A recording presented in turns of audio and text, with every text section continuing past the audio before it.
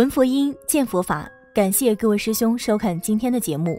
或许是不幸，吴镇宇跟梁朝伟、周星驰等大人物生在了同时代，蛰伏多年才为人熟知；或许是幸福，多年蛰伏让吴镇宇走出了另类路线。要说如今能用眼神杀死观众的香港男星，除了忧郁目光的梁朝伟，那就要数有着邪性甚至病态眼神的吴镇宇了。多年前看到的一篇访谈，影帝吴镇宇在谈到落选入围金像奖时说：“我一直明白一个道理，通向成功之路就像等公交车，人很多，大家都要排队。如果有人插队，那排在你后面的也许比你先红，还有人家有私家车的，到达目的地当然也比你快。这时候有人会因为老是等不到车就不等了。我相信公交车虽然慢，但肯定会送我到达目的地。”我想这段话适用于很多人，只要坚持，一定会走向成功。或许很多人看过吴镇宇演过的电影，但是没人知道他竟然还出过家，当过和尚。今天小编就带大家一起听听这位影帝的故事。吴镇宇在五岁时他就皈依佛门了，二十岁时还出过家，做过七天和尚。演员培训班他也是考了四次才考上的。在考演员的时候，导演问。学佛和做演员有什么关系？吴镇宇说：“学佛和做演员都是放下自己，确实如此啊。学佛就是消灭自私自利，消灭一切实有的执着，自利利他，为圆明星梦前。原名吴志强的吴镇宇是做办公室助理。一九八五年，他正式毕业于无线艺员训练班，其后参演剧集《生命之旅》，扮坚决成名，接演过《公司三文治》《卡拉乌起》《难兄难弟》等电视作品。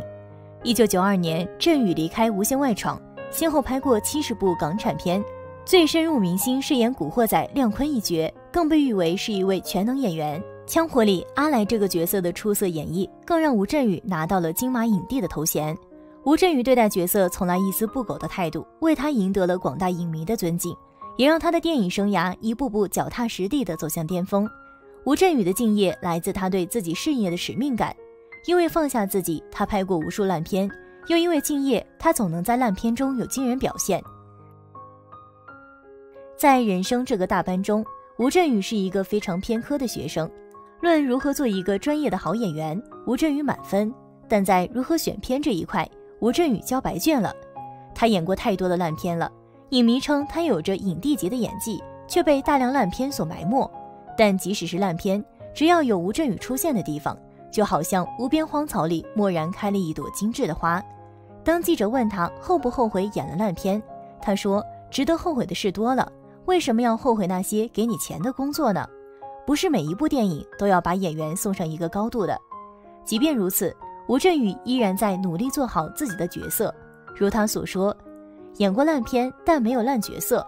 有人问他，物质现在还能诱惑你吗？”吴镇宇诚恳地说：“我想要的都已经买了，其实没有太大物欲。我当演员，房子也够住了，也不想跟人家比较。寻找自己的理想是最好的。我已经向观众伸手一块钱一块钱讨饭吃，使我有这么好的生活。如果我能活一百岁，现在就到回馈社会的时候了。支撑我去赚钱、接拍烂片的动力，就是我要把钱赚到口袋里，再用一个方法去还出来。为了不让自己沦为物质的奴隶。”片酬越来越高的同时，他却选择住在老房子里，买衣服只买打折扣的，一套衣服穿了几年他也不会觉得尴尬，低调的像一个傻子。他常常把自己关起来，不上街，不见人，不上网，选择自闭，选择孤独，抗拒随波逐流。即使做不到完全遁世，他也会时常提醒自己，要和这个物欲横流的世界保持一定的距离，不要做一个烂人。也因此。他在圈内朋友极少，还有人说他没有被划入偶像行列，他却从来不觉得遗憾，反而在心里偷着乐。没有偶像包袱真好，可以不用活得那么累。存了一些钱，吴镇宇决定要做一些跟别人不一样的事。他创办了一个电影网，专门扶植新电影人。出身贫寒的吴镇宇觉得，现在的影视学院学费太贵了，真正有才华、有天赋的人不一定读得起。所以他搭建了一个鼓励年轻人的平台，就当是做慈善。吴镇宇常说，支撑着我拍烂片的动力，就是把赚的钱用一个好玩的方式还回去。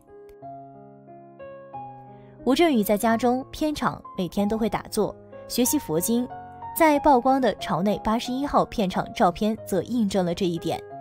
照片中，吴镇宇以佛家特有的打坐盘腿姿势，坐在片场的休息椅上，专心阅读一本名为《瑜伽师地论·声闻地讲录》的书。据了解，这是一部由南怀瑾先生批注的佛学典籍，讲述了修行、轮回等问题。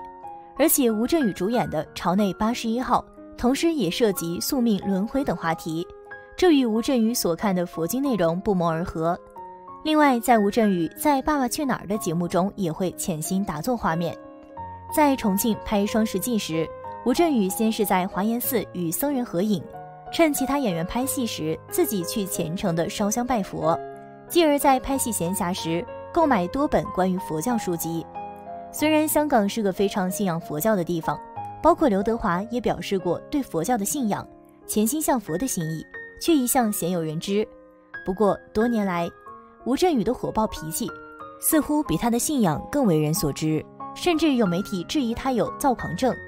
曾有媒体采访吴镇宇：“你信佛，个性为何还这么突出？”吴镇宇的理解是：佛教有愤怒的本质啊，这个世界充满了攻击。你站在马路边，有人醉酒驾驶冲过来。要死怎么都会死的，我就是不清楚，有些人为什么会逆行，开车逆行，走路逆行。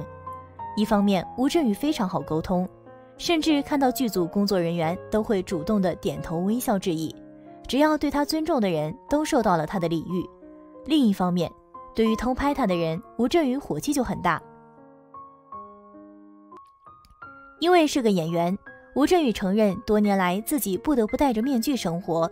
虽然内心一直渴望做完全真实的自己，我没时间活得太清醒，只有每天打坐、喝普洱茶的时候很清醒，但那个清醒是很空的状态。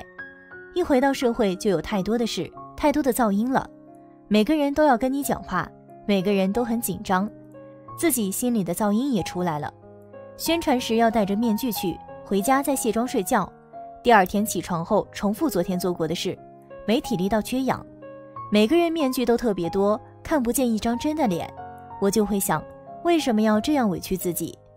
吴镇宇曾不止一次公开表示过，考虑在五十岁后出家。他说，以前曾试过出家七天，但因事业繁忙，觉得实在没有时间去学佛，所以他相信，在五十岁以后，已经成家立室，没有牵挂，可以出家一两年，专心学佛。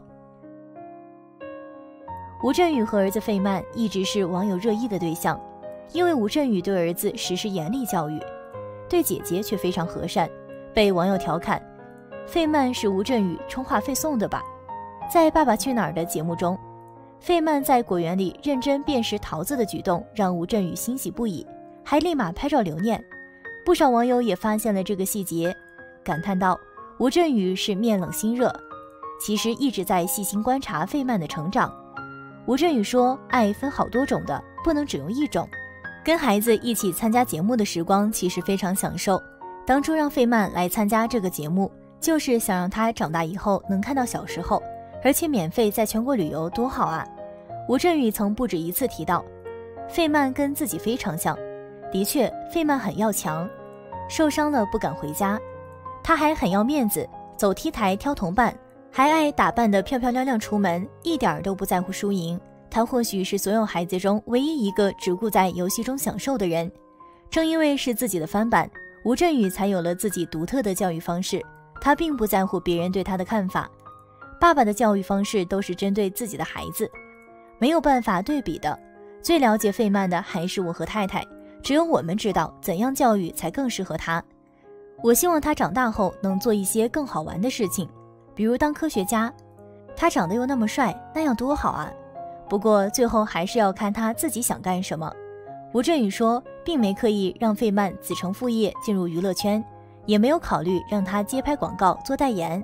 他告诉记者，他的狼爸式教育只是想让儿子不那么脆弱，他长成什么样是他自己的事情。我现在教育他，是希望他能够知道对错，做一个好人就够了。好了，今天关于吴镇宇的故事就先和大家分享到这儿了。从吴镇宇的人生来看，小编觉得，人生只要有一个正确的指引，沉下心努力向前，一定会拥有一个美好的将来。你觉得呢？那我们下期节目再见。